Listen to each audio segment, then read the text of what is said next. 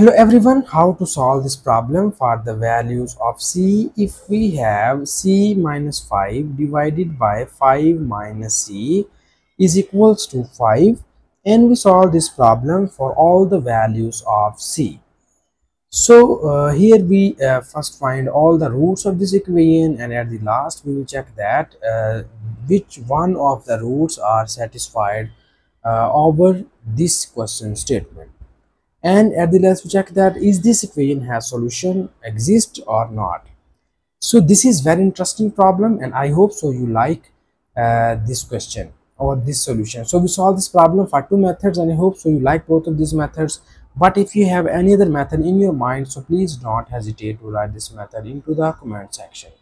So in first method you see here in the right hand side the denominator of this term is 1 so now here we need to cross multiply the terms. And when we multiply 1 with the c minus 5 uh, so 1 times of c minus 5 is equals to c minus 5 and 5 minus c is multiplied by 5 okay so we multiply this term with this 5 so after cross multiplication of term we will get here the right hand side is 5 times of 5 minus c and now further in the next step we need to simplify the terms. And here uh, we multiply this 5 on both of these values. And we get here 5 times of 5 becomes 25 minus 5 times of c becomes 5c and in the left hand side we have c minus 5 and now here in the next step we need to uh, move the variable terms in the left hand side. And we move the constant terms to the right hand side for this we move this minus 5c in the left hand side.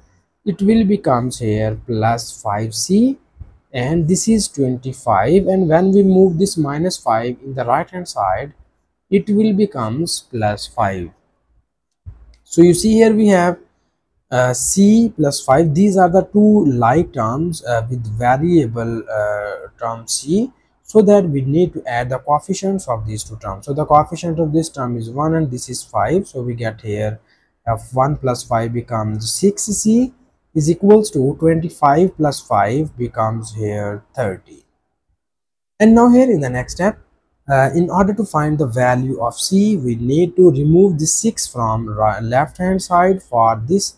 We divide both of the sides by 6 so when we divide both of the sides by 6, it will be written as 6c over 6 is equals to 30 over 6.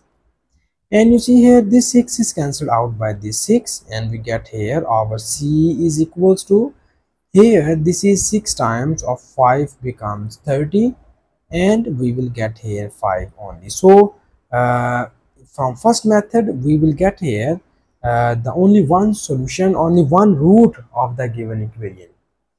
And now here in the next step uh, we need to verify this this root and we check that is this root is satisfied of the given question statement or not. So for a verification of the root we need to copy down given question statement here. And the given question statement is c minus 5 divided by 5 minus c is equals to 5 this is the our question statement and the value of c is equals to 5 so we verify this value of c.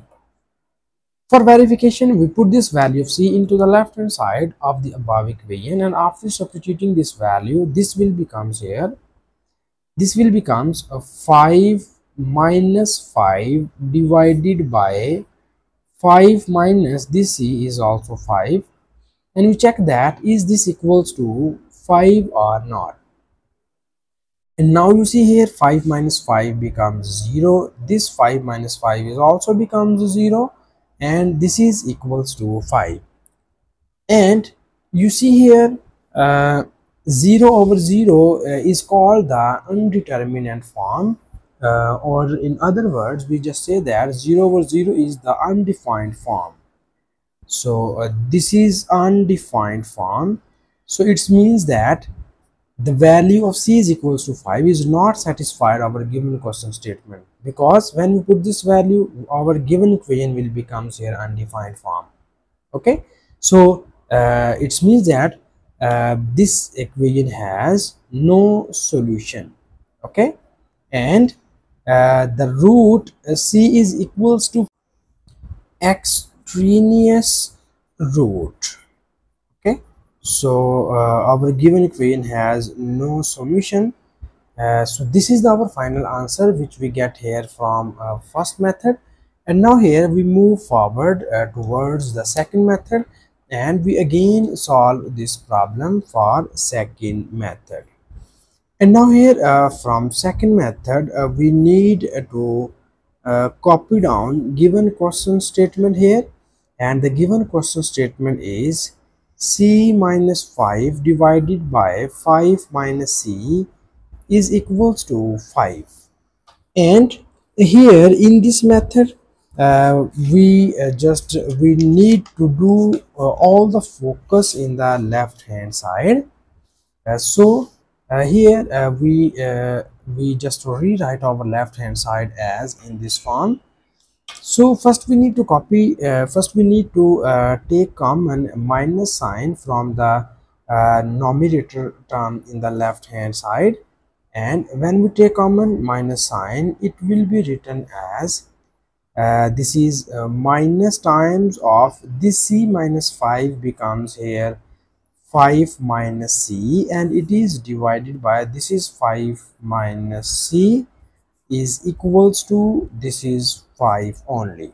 Okay?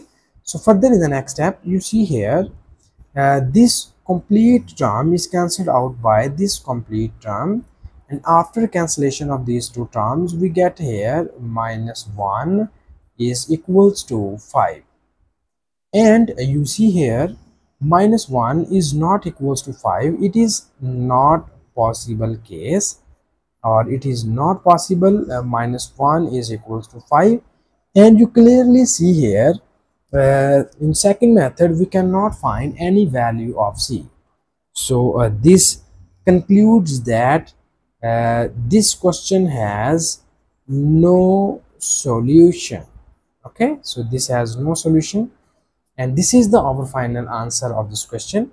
And thank you so much uh, uh, for watching this video uh, and i hope so you like both of these methods.